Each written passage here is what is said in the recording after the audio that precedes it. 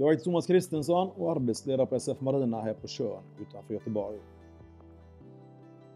Här tillverkar vi framförallt betongpontoner, en slags flytande brygga för exempelvis små mariner till större hamnar.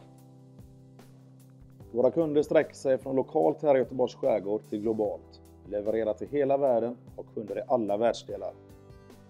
Det är viktigt att pontonen har god flytförmåga och ligger stabilt i vattnet. Därför jobbar vi tillsammans med BV som levererar EPSen som vi gjuter in i vår betongplattform.